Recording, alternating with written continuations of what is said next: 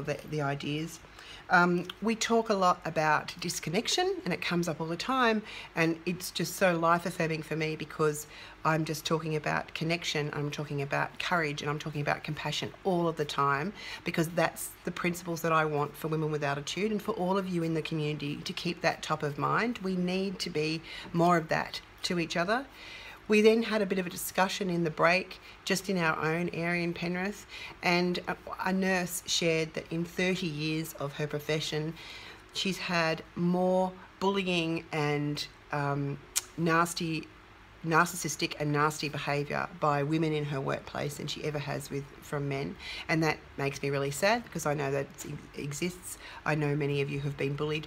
I know I've even been bullied just a few years ago at the at the sports club. So um, I recognise that. We have to do better in terms of our compassion with each other. The compassion and the patience. I mean, you don't have to agree with everybody. You don't even have to like everybody. But, you know, there's that undercurrent of sisterhood.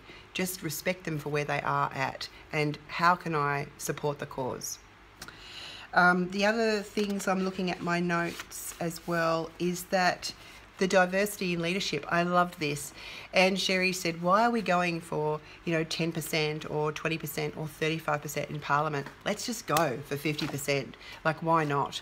That um, there needs to be 50, like, you know, it needs to be 50% because the topic, or the, sorry, not the topic, the theme of this year is parity, right? So um, if, if we're going to go for it, let's go 50%. And what that means is that men uh, in those large leadership roles and in, in parliament will need to step away. And that was obviously kind of tricky because we want to give them an option as well. Men came up quite a bit in terms of parenting.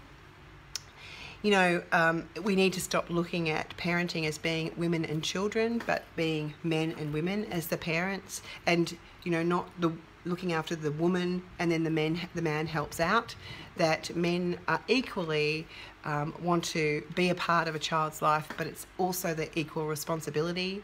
And so our whole language and social structures around parenting really really needs to be looked at.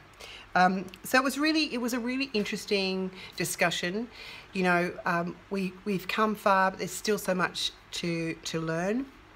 One of the things that uh, came up for me is that there's 175 women who have lost their lives since January 2014 to domestic violence, and that's just in this country in Australia. But more importantly, um, the domestic violence problem is the other things that aren't being reported and the reasons why. So women have a fear of um, reporting domestic violence they they fear what people will think of them or and their choices. They fear greatly that their children could be taken away or that they might lose some sort of rights or liberties or they may not have anywhere to live. They have fear of their lives because if they do speak out, they may lose their life or um, the life of their children. There's just some of the reasons why they don't, and that just makes me so incredibly sad that there's something wrong in our society if a woman or a person, a human being, can't feel they can reach out and um, tell someone or ask somebody for help.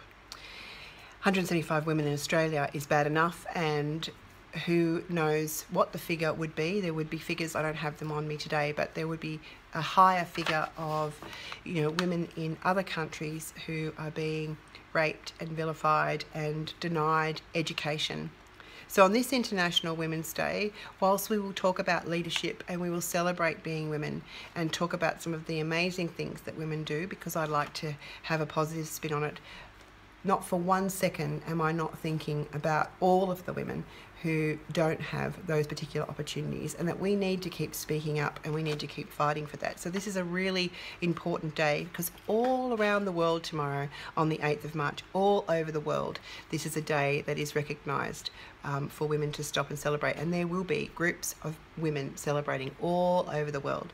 So I hope you'll join us tomorrow for um, our morning tea at Springwood or our breakfast on um, with a leadership panel on Thursday morning and happy Monday.